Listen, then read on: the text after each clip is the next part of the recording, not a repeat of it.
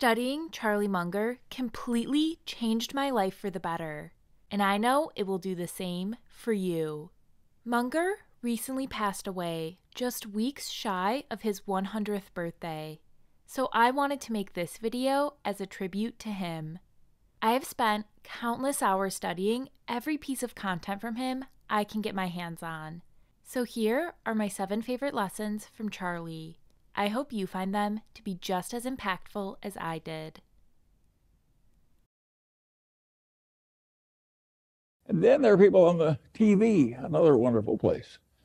And they say, I have this book that will teach you how to make 300% a year. And all you have to do is pay for shipping, and I will mail it to you. How likely is it that a person who had suddenly found a way to make 300% a year would be trying to sell books on the internet? To you. and it's ridiculous. And yet, I've described modern commerce. And the people that do this all day think they're useful citizens. The advertising agents that invent the lingo. And so in insurance, they say, well, they say, the two people who shifted from Geico to the Glotz Insurance Company saved $400 each. What they don't tell you is there are only two such people in the whole United States and they were both nuts. but they mislead you on purpose. And, and I get tired of it. And I, I don't think it's right that we deliberately mislead people as much as we do. We have to deal in things that we're capable of understanding. And then once we're over that filter, we have to have a business with some intrinsic characteristics that give it a durable competitive advantage. And then, of course, we would vastly prefer a management in place with a lot of integrity and talent. And finally, no matter how wonderful it is, it's not worth an infinite price. So we have to have a price that makes sense and gives a margin of safety considering the natural vicissitudes of life. That's a very simple set of ideas. And the reason that our ideas have not spread faster is they're too simple. The professional classes can't justify their existence if that's all they have to say. I mean, it's all so obvious and so simple. What would they have to do with the rest of the semester?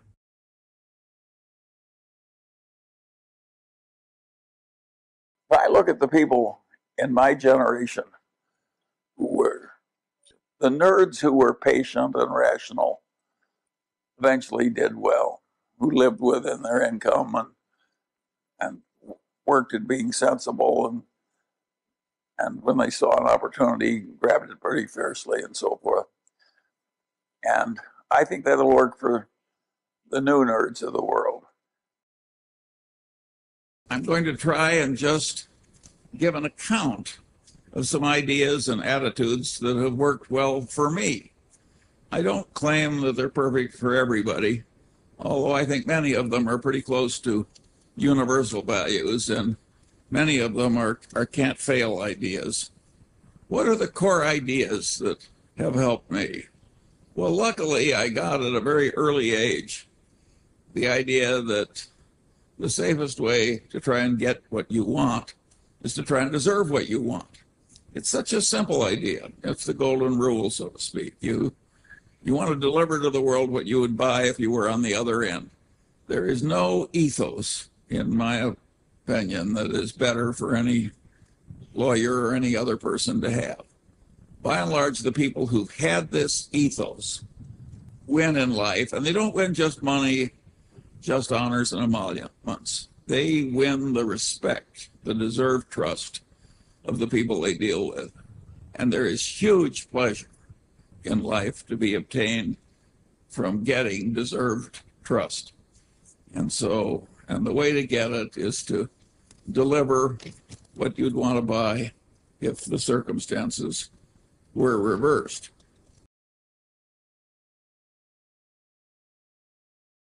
My father had this best friend and client and he also had this other client who was a big blowhard. And And he was always working for the big blowhard, and he wasn't ever working for his wonderful client whom I admired. And I said, Why do you do this? And he said, Charlie, you idiot. He says, The big blowhard is an endless source of legal troubles. He's all, always in trouble, overreaching and misbehaving and so forth. Whereas Grant McFadden treats everybody right the employees, the customers, everything. He gets involved with some psychotic, he walks over there and makes a graceful exit immediately. So a man like that doesn't need a lawyer. And my father was trying to teach me something, and it really worked. I spent my whole life trying to be like Grant McFadden. And I want to tell you, it works. It really works. Peter Kaufman is always telling me if the crooks only knew how much money you could make by being honest, they'd all behave differently. Warren has a wonderful saying I like. He says, You take the high road, it's never crowded.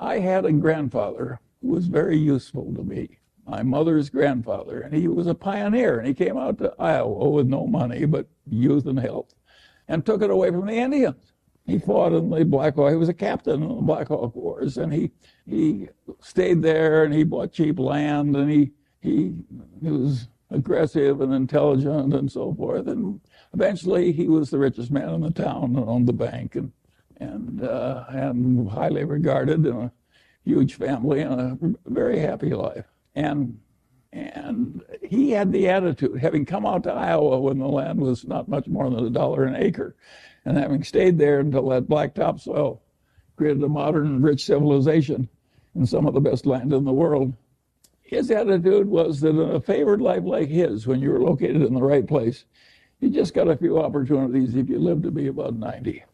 And the, trick in coming out well was seizing the few opportunities that were your fair share that came along when they did. And he told that story over and over again to the grandchildren who hung around him all summer. And my mother, who had no interest in money, remembered the story and told it to me. But I'm not my mother's natural imitator. And I knew Grandpa Hingham was right. And so I always knew from the very first, I was a little boy, that the opportunities that were important that were going to come to me were few, and that the trick was to prepare myself for seizing the few that came. This is not the attitude they have at a big investment counseling thing. They think if they study a million things, they can know a million things. And that, and of course, the result is almost nobody can outperform an index. Whereas I sit here with my Daily Journal stock, my Berkshire Hathaway stock, my holdings in Li Lu's Asian fund, my Costco stock, and of course I'm outperforming everybody. And I'm 95 years old, and I practically never have a transaction. And the answer is I'm right and they're wrong. And that's why it's worked for me and not for them. In the investment world, people, involves an enormous amount of high IQ people trying to be more skillful and normal. Can hardly imagine another activity that gets so much attention. And weird things have happened. And years ago, one of our local investment counseling shops, a very big one, they were looking for a way to get an advantage over other investment counseling shops. And they reasoned as follows. We've got all these brilliant young people from Wharton and Harvard and so forth, and they work so hard trying to understand business and market trends and everything else. And if we just ask each one of our most brilliant men for their single best idea, then created a formula with this collection of best ideas, we would outperform averages by a big amount. And that seemed plausible to them because they were ill educated that's what happens when you go to Harvard and Wharton. And and and so they tried it out, and of course it failed utterly. So they tried it again, and it failed utterly. And they tried it a third time, and it also failed. And of course, what they were looking for is the equivalent of the alchemists of centuries ago who wanted to turn lead into gold. They thought if you could just buy a lot of lead and wave your magic wand over and turn it into gold, that would be a good way to make money. So this counseling shop was looking for the equivalent of turning lead into gold. And of course, it didn't work. I could have told them, but they didn't ask me. Now, the, the interesting thing about this situation is that this is a very intelligent group of people that's come from all over the world. You've got a lot of bright people from China where people tend to average out a little smarter. And the, the issue is very simple. It's a simple question. Why did that plausible idea fail? Just think about it for a minute. You've all been to fancy educational institutions. I'll bet you there's hardly a one in the audience who knows why that thing failed. That's a pretty ridiculous demonstration I'm making. How can you not know that? It's, but that's one you should be able to answer. It shows how hard it is to be rational on something very simple. How hard it is, how many kind of crazy ideas people have and they don't work. You don't even know why they don't work, even though it's perfectly obvious if you've been properly educated. Now, at a place like Berkshire Hathaway or even the Daily Journal, we've done better than average. And now there's a question why has that happened? Why has that happened? And the answer is pretty simple. We tried to do less. We never had the illusion we could just hire a bunch of bright young people and they would know more than anybody about canned soup and aerospace and utilities and so on and so on and so on. We never had that dream. We never thought we could get really useful information on all subjects like Jim Cramer pretends, tends to have.